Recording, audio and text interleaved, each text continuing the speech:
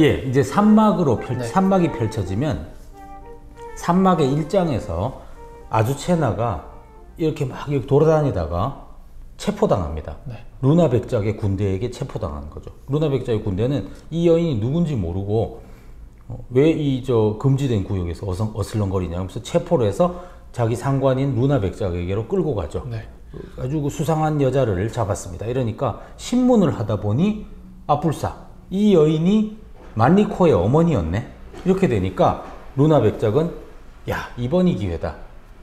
만리코의 어머니를 생포했으니 지금 당장에 화형대에 묶어라. 네. 그러니까 이제 지금 이 사람들은 그냥 마음에 안 들면 바로 화형대에 묶는 그런 확- 아주 그냥 성질이 급한 사람들인데요. 화형대에 묶어서 처형한다고 하면은 만리코가 그 미끼를 물 거다. 만리코를 체포하기 위해 그녀를 일단 화형대에 묶고 소문을 퍼뜨려라. 라고 이야기를 하면서 산막의 1장이 끝이 나고 산막의 2장으로 넘어가면 아무도 모르는 은밀한 은신처에서 바로 이 만리코와 레오노라가 함께 있습니다. 그러면서 만리코와 레오노라는 이 만리코 얘기를 하죠. 언제 내가 또 전투에 나가서 죽을지 모르는 이런 상황에서 우리는 우리끼리만의 언약식을 해서 우리만이라도 이 하느님 앞에서 결혼합시다 그냥 라고 얘기하면서 여기서 정말 만리코의 어, 빼놓을 수 없는 가장 유명한 두 개의 아리아 카바티나와 카발레타가 이어지는데요. 첫 번째 나오는 어, 카바티나는 아시벤미오 꼴레세레. 아 정말 내가 사- 너무나도 사랑하는 그대여 내가 그대의 사랑을 얻는 것이 얼마나 행복한 것인가. 그러면서 이 카바티나에서 만리코는 아주 감동적인 어, 가사를 이야기를 합니다.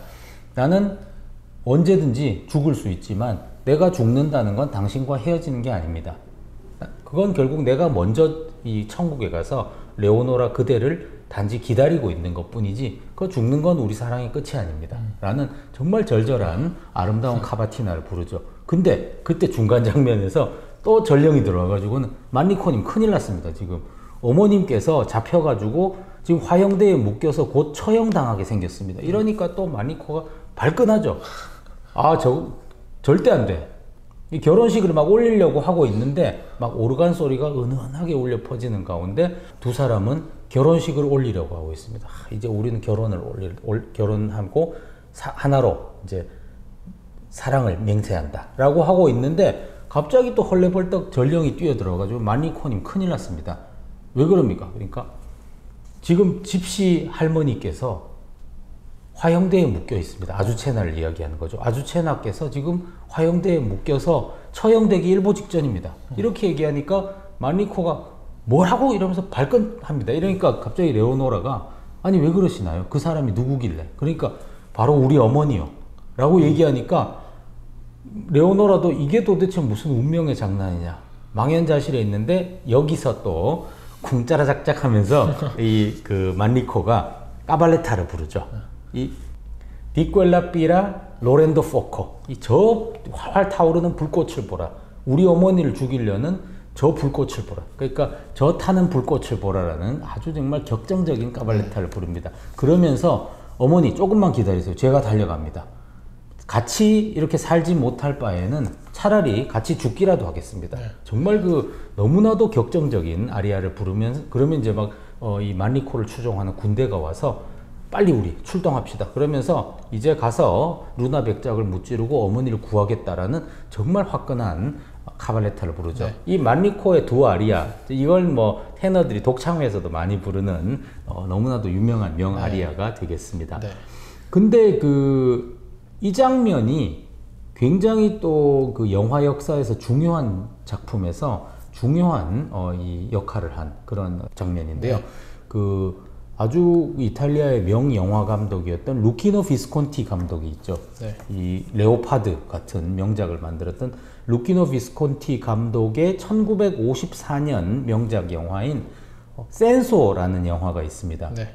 뭐 감각 이런 뜻이 되겠습니다만 1860년대 베네치아가 어, 오스트리아 지배에서 벗어나서 어, 독립 이제 독립해서 통일 이탈리아 왕국에 편입하려고 이 이탈리아의 일원이 되기 위해서 독립 전쟁을 하던 1866년을 배경으로 이 피지배인들이었던 베네치아인과 지배민족 어, 이 오스트리아인들의 갈등을 다룬 그, 그 속에서 정말 너무나도 아름다운 음악과 영상미가 돋보이는 그 명작 속에 이 센소라는 영화의 첫 장면이 일트로바토레의 이 Di quella pira 이 결혼식 장면으로부터 시작해서 이 센소라는 영화 제목이 딱 떠오르는 그 장면부터 두 사람이 결혼식을 올리는 오르간 소리로부터 시작됩니다. 그러면서 두 사람이 사랑의 이중창을 부르고 있는데 갑자기 전령이 들어와서 이 Di quella pira를 부르는 장면까지가 오페라의 첫 장면을 길게 이렇게 하는데요.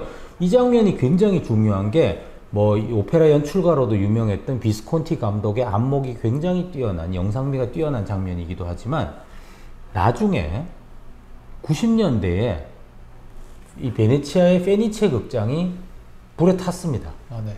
불에 타서 전소됐는데 이걸 다시 재건해야 되지 않습니까? 그래서 건축 설계도가 남아 있으니까 베네치아의 그 페니체 극장을 짓기는 다시 지었는데 내부 인테리어는 설계도에 안 나타나 있죠. 그 장식이 어땠는지는 사진과 기록을 통해서 볼 수밖에 없는데 바로 이 1954년 페니체 극장에서 촬영했던 그 내부가 비스콘티 감독의 그, 그 화려한 영상미 속에 아주 디테일이 잘 담겨 있었던 거죠. 그 영화의 첫 장면을 보고 페니체 극장의 인테리어를 재건했기 때문에 정말 이 일트로바토레가 큰 일을 한 네. 그런 어, 이 경우가 되겠습니다. 네. 자, 이제 사막으로 들어갈 텐데요.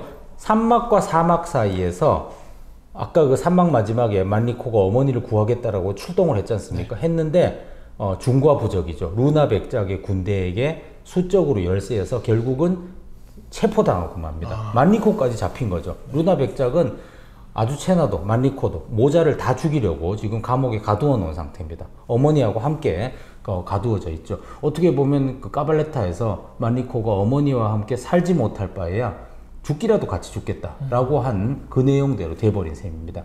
사막이 열리면 이제 루나 백작의 궁전입니다. 네. 웬 여인이 어두운 밤에 홀로 루나 백작의 궁전으로 들어가고 있습니다. 그러면서 바로 레오노라인 거죠. 여주인공 레오노라가 만리코가 루나 백작에게 붙잡혀 있다라는 것을 소식을 듣고는 만리코를 구하기 위해서 온 겁니다. 그러면서 얼굴을 드러내고는 여기서 또 정말 아름다운 아리아를 부르죠. 이 나모르 술랄리 로세, 이 사랑의 장밋빛 날개를 타고 이 레오노라의 아주 유명한 아리아지 않습니까? 이 아리아를 부르면서 만리코에게 이 지금은 내가 만리코는 감옥에 있고 나는 떨어져 있지만 사랑의 장밋빛 날개를 타고 이 사랑이 만리코에게 전해지기를 자기는 지금 만리코를 위해 목숨을 버릴 생각까지 하고 온 아주 비장한 각오를 하고 왔습니다. 이 아리아는 정말 그 옛날에 뭐 칼라스를 비롯해서 수많은 리리코 스핀토 소프라노들이 많이 부르는 독창에서도 많이 부르는 아리아죠. 이 아리아가 또 특기할 만한 게 뭐, 이 얼마 전에 몇 년 전이죠. 그 보헤미안 랩소디 아주 돌풍을 일으켰지 네. 않습니까? 프레디 머큐리가 워낙 어, 오페라를 좋아했죠. 그래서 뭐 자기 음악 속에도 오페라를 많이 녹여 넣고 했습니다만 프레디 머큐리가 또 특히 만년에 이 소프라노 몽세라 까바예하고 친교를 깊이 나누었죠. 그래서 음반도 같이 내고 굉장히 그, 어, 이 존경을 표했던 어, 여인입니다만 프레디 머큐리가 안타깝게도 세상을 떠나고 그 장례식장에 몽세라 까바에는 오지 못했습니다.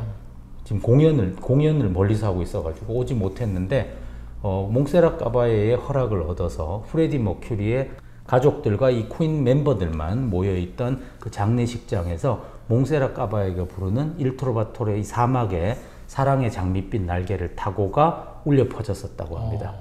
그러니까 참 프레디 머큐리의 장례식에 울려 퍼졌던 이 아리아인데 이 아리아가 그만큼 사랑을 담은 사랑의 노래를 하고 있지만 앞으로 지금 레오노라가 어떤 일을 할지를 관객들은 알고 있기 때문에 그저 그냥 사랑의 노래로만 들리지 않고 뭔가 비장한 느낌을 주는 그런 곡이라고 할 수 있겠죠. 네. 그래서 이제 그 궁전 안으로 들어간 레오노라는 루나 백작을 만나자고 합니다. 그 루나 백작에게 당신이 그 나를 그렇게 원하니 어, 당신 소원대로 저를 당신에게 드리겠습니다. 이렇게 이야기를 하는 거죠. 그러니까 루나 백작이 눈이 번쩍 뜨이면서 어, 어떻게 그런 결심을 하게 됐어? 이렇게 얘기하니까 대신에 만리코를 살려주세요.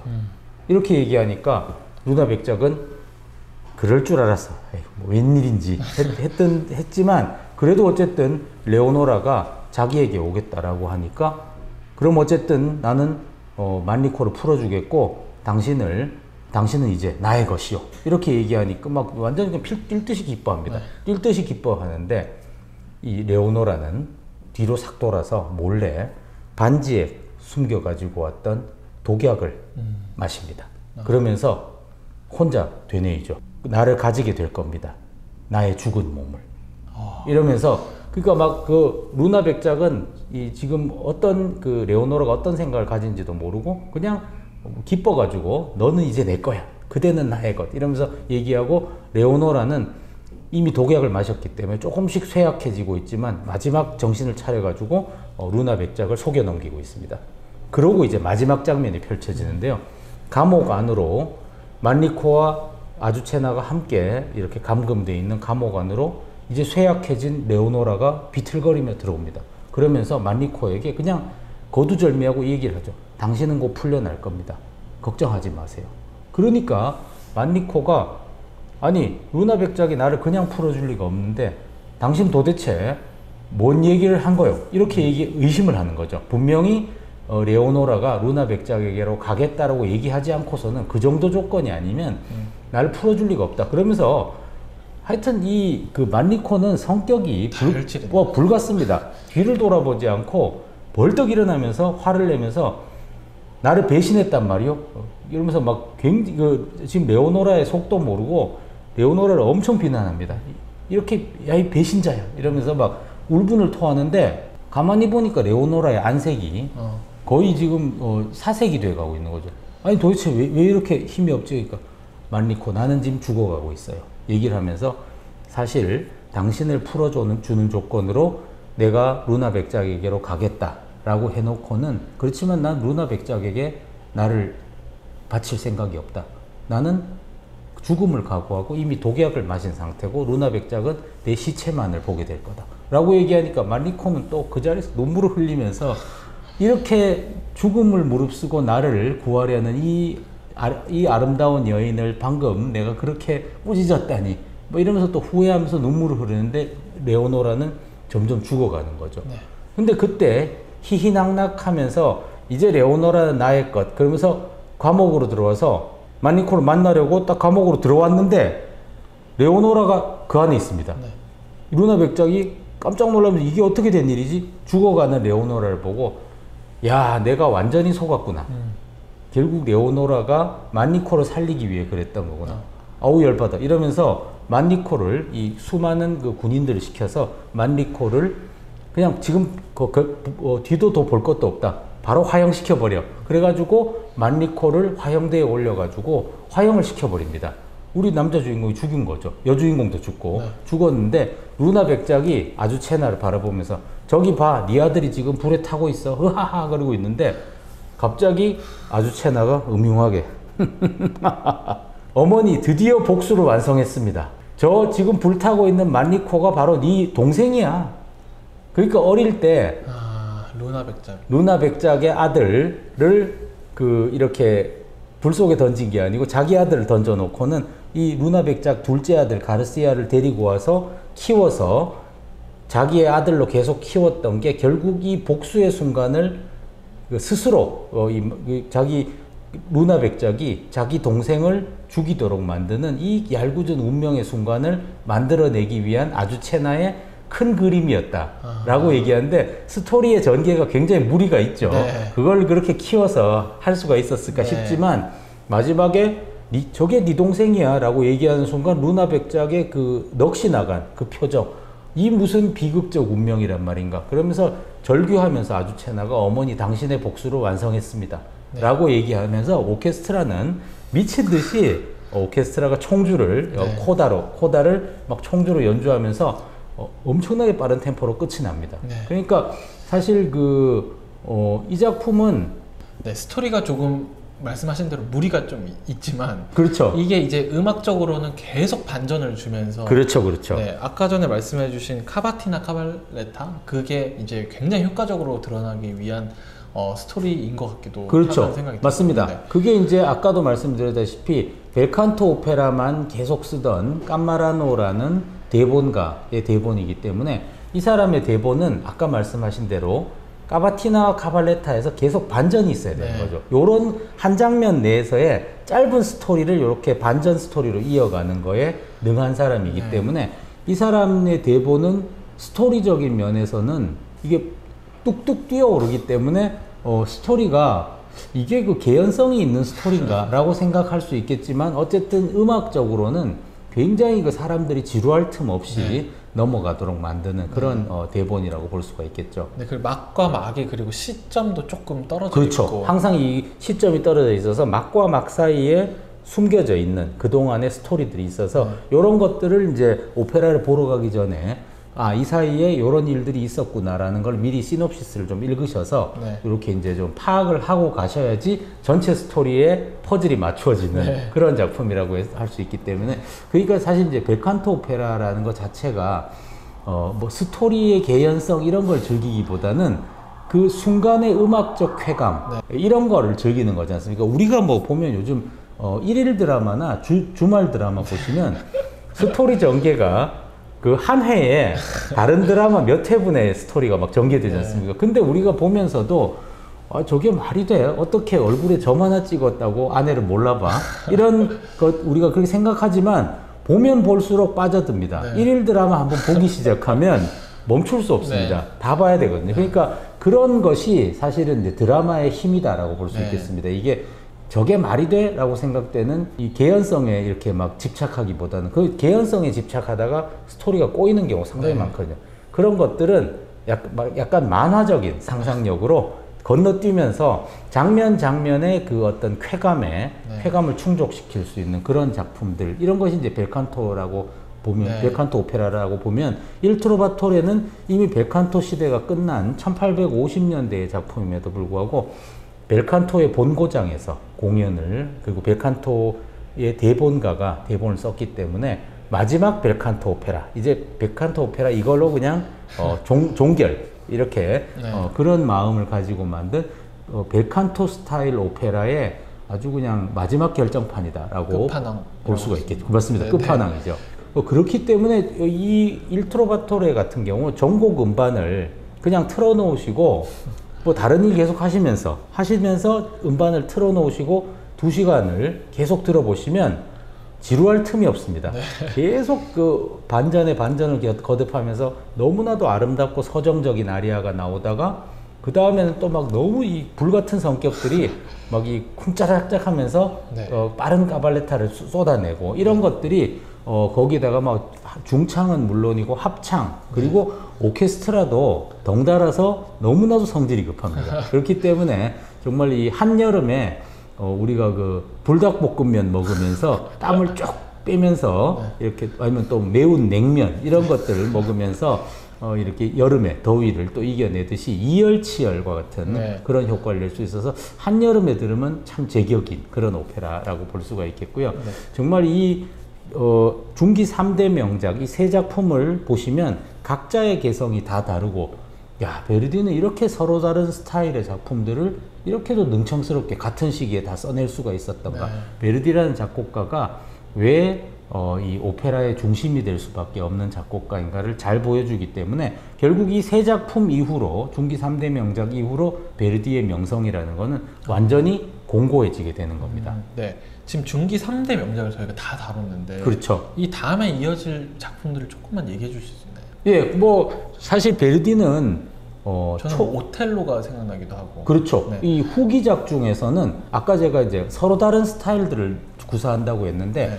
아까 이제 바그너 말씀하셨습니다만 베르디가 평생 동안 그 알긴 하지만 자기 스타일이 아니어서 쓰지 않았던 바그너 스타일을 음. 이것도 역시 보이토라는 진짜 천재적인 바그네리안 대본가죠. 네. 이 보이토라는 천재적인 대본가의 대본을 만나서 아 이런 데에는 이런 대본에는 바그너 스타일의 음악이 어울린다라고 해서 바그너 스타일을 그 너무나도 완벽하게 구사한 진짜 독특한 스타일의 오페라를 만들어내기 때문에 역시 또 베르디의 색다른 스타일의 오페라로서 후기작인 네. 오텔로 한번 소개를 드리도록 하겠습니다. 네. 지금 일트로바트로도 했지만 또 다음 편을 기대하게 기대시면 불러일으킬 수 있게 예, 한번. 여쭤봤었고 네, 네 오늘도 너무 재밌는 얘기 들려주셔서 감사드리고 감사합니다. 네 다음 오페라 시간에 또 뵙도록 하겠습니다. 영상 봐주셔서 감사합니다.